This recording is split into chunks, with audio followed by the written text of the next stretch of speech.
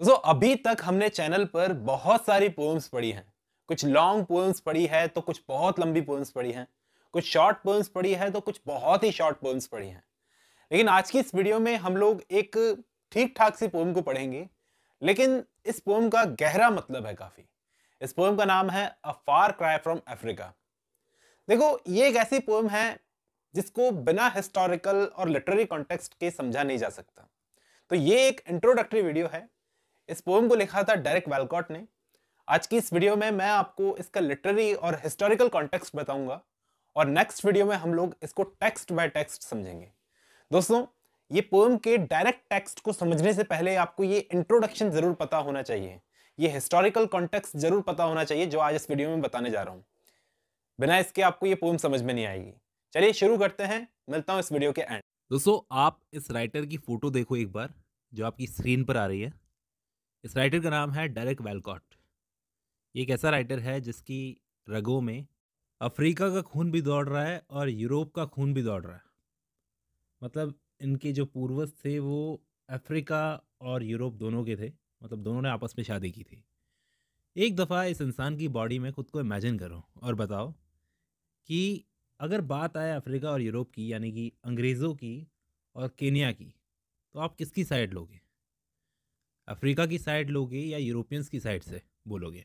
इन्होंने खुद एक पोएम लिखी है a far cry from Africa उसके अंदर एक लाइन है I who am poison with the blood of both where shall I turn divided to the vein तो बहुत इंपॉर्टेंट हो जाता है इस पोएम को पढ़ने से पहले।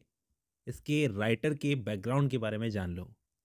कि कितने बड़े डिलेमा में था ये राइटर किसकी साइड से लिखे? ज़रा सा भी पार्शल होने पर कितना इसको क्रिटिसाइज़ किया जाएगा? क्रिटिसिज्म मिला। हमें पता होना चाहिए कि क्यों इस राइटर को नोबेल प्राइज़ मिला है। देखो, कहानी है माओ माओ अपराइजिंग की, जो आठ सालों तक चला था 1952 से 1960 तक। उस टाइम पर ये माओ माओ एक ग्रुप था। उन्होंने यूरोपियन से आज़ादी के लिए लड़ाई लड़ी थी। किस तरीके से? गोरिल्ला फाइटिंग करके। आप लोगों को पता नहीं होगा गोरिल्ला फाइटिंग क्या होता है? हर किसी एरिया का एक तरीका होता है। बाहर के लोगों से लड़ने का। जैसे अफ़गानिस्तान में गोरेला फाइटर्स पहाड़ों में छुपकर लड़ते थे और जंगल वाले इलाके में जंगलों में छुपकर लड़ेंगे। तो बाहर के लोग जैसे कंफ्यूज हो जाए, उस तरीके से एक स्पेसिफिक एरिया के गोरिल्ला फाइटर्स होते अब ये लोग एक ट्राइब से थे कि कुयू ट्राइब इन लोगों को भी अंग्रेज़ों ने अपने रूल के दौरान बहुत सप्रेस किया था, दबाया था। तो इन लोगों को प्रॉब्लम थी उनसे। केन्या में इन लोगों को अंग्रेज़ों के रूल से नहीं, बल्कि अंग्रेज़ों से ही प्रॉब्लम थी कि किस तरह से हम लोगों को दबा के रखा है। आपको पता ही होगा कि अंग्रेज़ जब किसी की ज़मीन पर कब्ज़ा करते थे उस टाइम पर तो उसको इकोनॉमिकली बहुत बहुत बुरी तरीके से एक्सप्लॉयट करते थे। तो वहाँ पर भी ऐसा ही चल रहा था।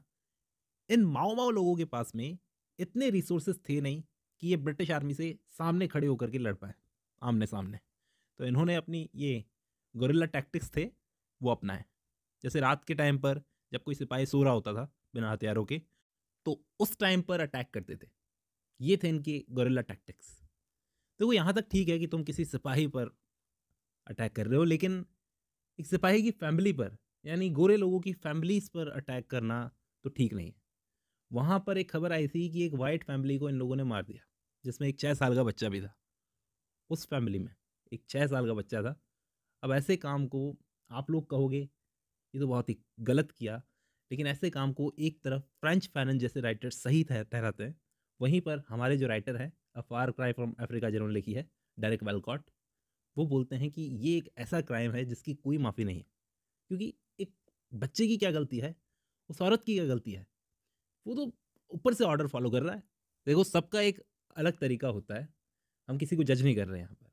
तो उस टाइम पर ये माओ माओ अपराइजिंग हुई थी, उसी से रिलेटेड है ये पोएम हालाँकि उस अपराइजिंग को दबा दिया गया, लेकिन बड़े बुरे तरीके से ब्रिटिश लोगों ने फोर्सफुली उस टाइम पर लेबर कैंप्स बनाए थे। Same to same Nazi concentration camps होते थे ना, उनकी तरह लगते थे ये कैंप बल्कि वैसे ही थे। कुछ कमी अफ्रीकन्स में भी थी कि इस छोटी सी लगी आग को इस अपराइजिंग को बड़े रेवोल्यूशन में कन्वर्ट नहीं कर सके, क्योंकि ये लोग बटे हुए थे, और ना ही इनके पास में गांधी जी जैसा लीडर था, कोई नेता था जो सबको साथ में ला सके। ये लोग बटे हुए थे, इसलिए ब्रिटिशर्स ने इनको दबा दिया। और ये वो इंपॉर्टेंट चीज़ थी, जो आपको इस पोएम को शुरू करने से पहले आप पता होनी चाहिए। क्योंकि इस पोएम के अंदर डायरेक्ट वेलकॉट ने बहुत सारे लिटरेरी डिवाइसेस का यूज़ किया, such as metaphor, imagery, irony. तो उन सबको समझने के लिए आपको ये लिटरेरी और ख़ास करके इस पोएम का, पोएम के राइटर का हिस्टोरिकल कॉन्टेक्स्ट पता ही होना चाहिए। दोस्तों, ये a far cry from Africa का पार्ट टू है। जिसके अंदर हम लोग टेक्स्ट को समझेंगे। पहले हम लोगों ने इसका हिस्टोरिकल कॉन्टेक्स्ट समझ लिया, इसका लिटरेरी कॉन्टेक्स्ट समझ लिया। चलिए आज हम इसका टेक्स्ट समझेंगे। टेक्स्ट में मैं आपको word by word line by line meaning बताऊँगा, कहीं कंजूसी नहीं करूँगा। चलिए शुरू करते हैं, मिलता हूँ इस वीडियो के एंड में।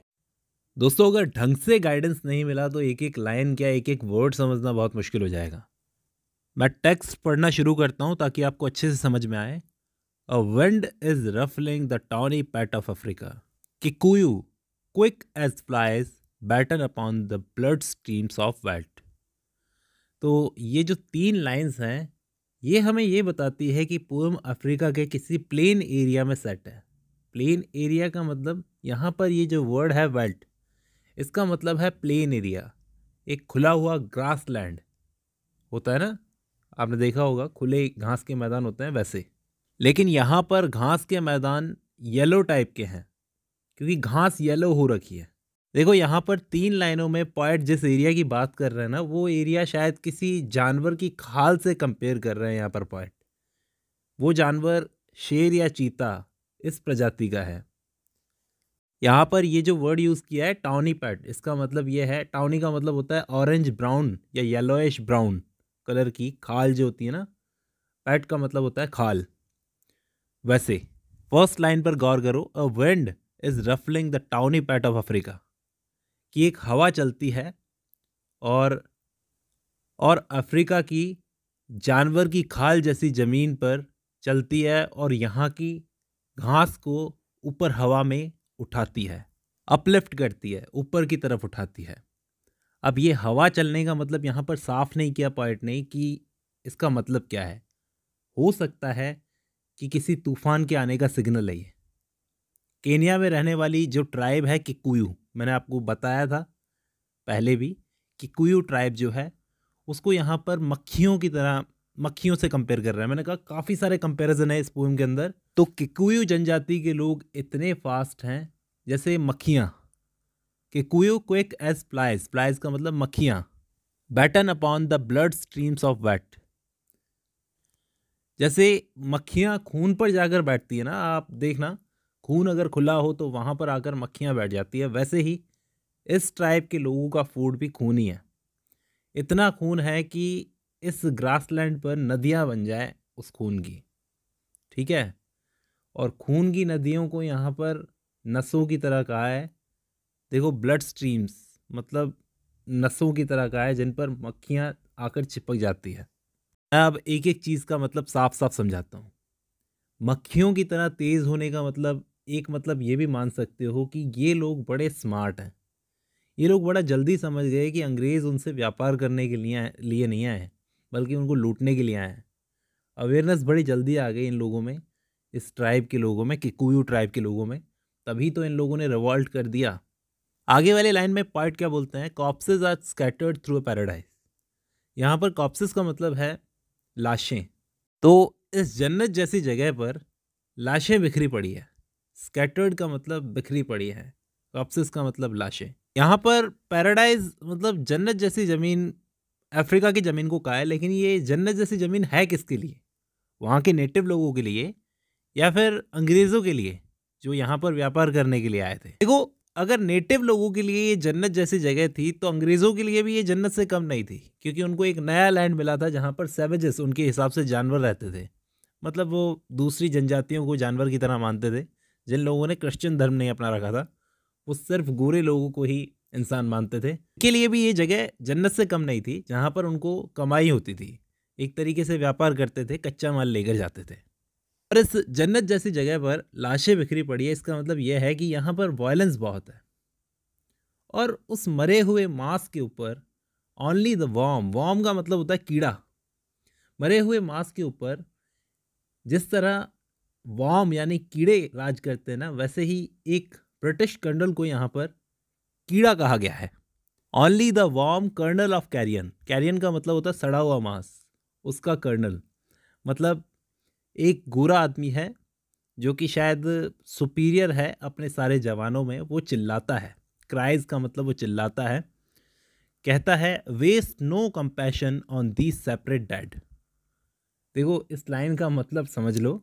से किसी सड़े हुए मांस के ऊपर कीड़े राज करते हैं ना, वैसे एक ब्रिटिश कर्नल को यहाँ पर बॉम्ब की तरह दिखाया है कर्नल ऑफ़ कैरियन जो ये बोलकर चिल्लाता है, अपने साथी सिपाहियों पर बोलता है कि इनसे सिंपथी जताने की ज़रूरत नहीं है, मरी हुई लाशों से। कंपैशन का मतलब सिंपथी अपना, अपनी सिंपथी वेस्ट करने की ज़रूरत नहीं है, क्योंकि ये लोग हमसे अलग हैं और इनको वही मिला है जो ये लोग डिज़र्व करते थे। Waste no compassion on the separate dead इन इन अलग मरे हुए लोगों पर अपनी सिंपथी जताने की ज़रूरत नहीं है, अपनी वेस्ट करने की ज़रूरत नहीं है सिंपथी क्योंकि ये लोग वही हैं आगे डायरेक्ट वेलकॉट क्या बोलते हैं? Statistics justify and scholar seize the salient of colonial policy statistics का मतलब आप सब समझते हो, आंकड़े और स्कॉलर्स यानी स्कॉलर्स जो रिसर्च करने आते हैं। एक बार जब कोई कांड हो जाता है तो उसके बाद में स्कॉलर्स अपनी रिसर्च करने के लिए आते हैं। स्टैटिस्टिक्स प्रेजेंट किए जाते हैं, आंकड़े प्रेजेंट किए जाते हैं। ये साबित करने में, ये साबित करने के लिए कि ये जो लोग मरे हैं, इनका मरना लाजमी था। इतने लोग तो मरने ही थे। कॉलोनियल पॉलिसी को जस्टिफाई करने के लिए, स्टैटिस्टिक्स दिखाकर, स्कॉलर्स की रिसर्च दिखाकर। लेकिन यहाँ पर डायरेक्ट वेलकॉट बोलते हैं कि ये आंकड़े तब काम नहीं आते वॉट इज़ दैट टू मतलब ये आंकड़ों का तब क्या काम होगा that white child hacked in bed कि मैंने आपको बताया था वीडियो की शुरुआत में कि ये आंकड़े तब काम नहीं आते जब एक वाइट चाइल्ड को, एक गोरे बच्चे को उसके बिस्तर के अंदर मार दिया जाता है सिर्फ़ इसलिए कि उसका कलर वाइट है। लोग इतने ज़्यादा रेशियल हो जाते हैं मतलब केकुयू ट्राइब के लोग ये भी नहीं देखते कि वो एक बच्चा है। यहाँ पर दोनों की साइड नहीं ले रहे हैं। यहाँ पर वो इनकी भी कमियाँ गिनवा रहे कह रहे हैं कि वो एक बच्चा है, ये तो देखा नहीं उन लोगों ने। तब क्या करेंगे ये आंकड़े तुम्हारे? या फिर to savages expendable as Jews तब तुम्हारे आंकड़े क्या काम में आते हैं? जब इन सेवेजेस को सेवेजेस मतलब अफ्रीका में रहने वाले लोग, यहाँ पर सेवेजेस वाइल्ड लाइफ के लिए नहीं यूज़ हुआ है। यहाँ पर अंग्रेज़ लोग जो अफ्रीकन लोगों को बोलते थे ना सेवेजेस जानवर की तरह यूज़ करते थे इस वर्ड का, उसके लिए यूज़ हुआ है, उस तरीके से यूज़ हुआ है डायरेक्ट वेलकॉट ने वैसे किया है कि इन जानवरों की लाइफ को ज्यूज की लाइफ की तरह खर्च कर दिया जाता है। मतलब इन लोगों को इंसान ही नहीं समझा जाता, इन लोगों को वैसे ही ट्रीट किया जाता है, जैसे नाजी कॉन्सेंट्रेशन कैंप्स के अंदर ज्यूज को किया गया था ना। तो तब क्या काम आते हैं तुम्हारे ये आंकड़े और रिसर्च क्या काम में आती है सारी चीज़ें? मैंने इस पोएम का सिर्फ़ एक ही स्टेंजा डिस्कस किया है, छोटी सी पोएम है, लेकिन आपको ढंग से समझना बहुत ज़रूरी है। बाकी के स्टेंजा हम लोग नेक्स्ट वीडियोज़ में डिस्कस करेंगे। चलिए आज की इस वीडियो में इतना ही।